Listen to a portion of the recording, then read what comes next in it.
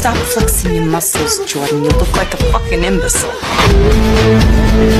Stop dressing provocatively. You look like a fucking imbecile.